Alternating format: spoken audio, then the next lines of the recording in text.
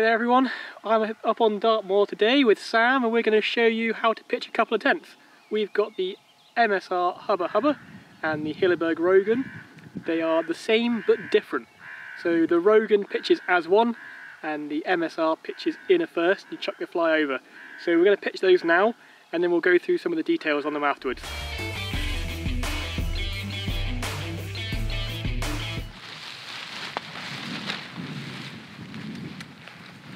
So as you can see, the Rogen is now up. That's a pitches as one tent. That's all done, ready to go in there. And uh, Sam's still struggling with putting the fly onto that hubba hubba.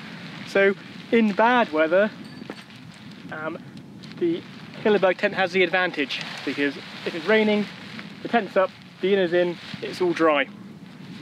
The downside, of course, with the uh, as one tent is you don't get quite as much inside space and you can't pitch it inner only. So the nice thing about that Hubba Hubba is on a real nice evening, um, you can pitch it just with the inner and have it as a kind of a bug net so you can still get some protection from flies, biting insects, uh, but not have the rainfly on there. So uh, once Sam finishes this, we'll just maybe get a close-up of some of the tents, get some more shots of them for you guys, and answer some more questions. So now we've got both these tents pitched, let's get a close look at them, shall we? Um, we'll start with the Rogen, this side.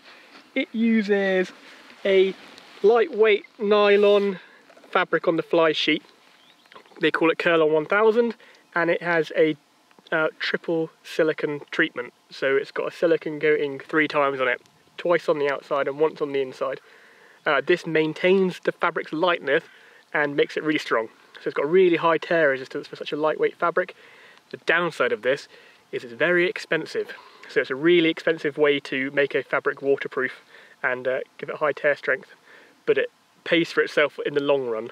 Um, they are like an investment, these tents. You've probably seen how expensive they are. The alternative is making a combination fabric, which is what you get on the MSR tent. So this tent is again a, a lightweight nylon fabric. It's got a polyurethane coating on the inside, which is taped, and a silicon coating on the outside. So you get the kind of high level waterproofness of polyurethane, and it's a little bit cheaper to do, but you also get the benefits of the silicon on the outside to keep the tear strength high and the weight down.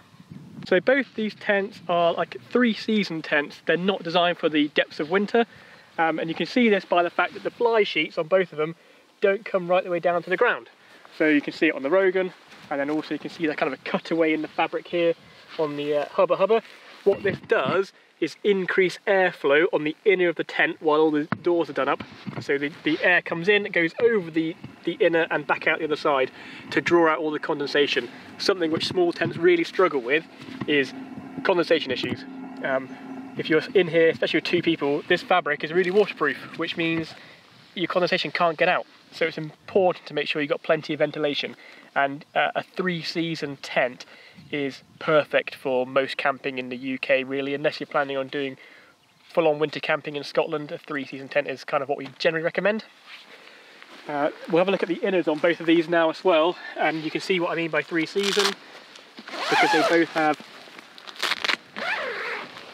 lots of mesh on the inside. So if you want to come in here with me, this tent has got lots of mesh on it. Uh, here, here, all the kind of black part you can't really see very well um, is mesh, which means you've got really good airflow. So great in warmer conditions, but not so good in the cold conditions because all your warm air you're keeping inside the tent is going to escape easily. Uh, the Rogen, we have a look at that one now as well.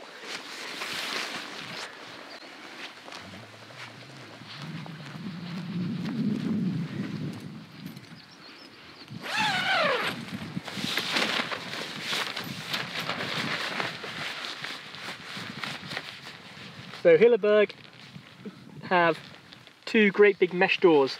Not as much mesh paneling as you get on the MSR tent.